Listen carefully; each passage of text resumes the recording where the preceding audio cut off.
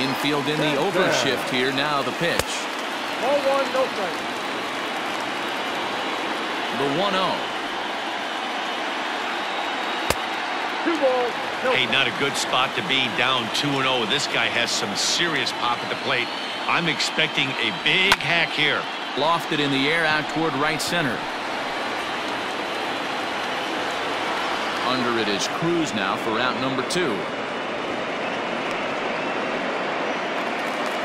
Now at the plate, Derek Dietrich The first baseman. looking to get on base and keep this first inning alive. Tried to check it and it's 0-1.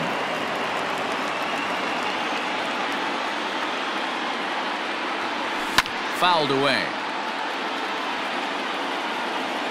0-2 here it comes. Good arm action there but this one misses and it's a ball and two strikes. Step out of the box, take a deep breath. After spitting on that changeup, you might have bought yourself a fastball.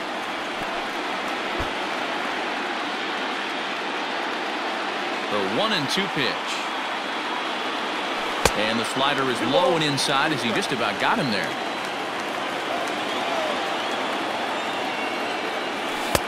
This one's outside quite a bit off the plate that time. Freddie Galvis would be next.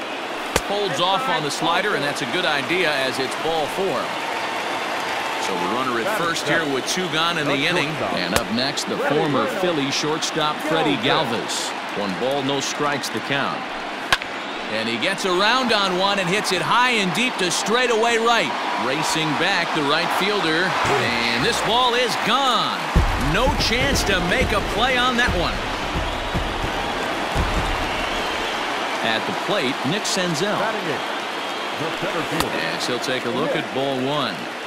He definitely doesn't look himself to start this one, and this lineup needs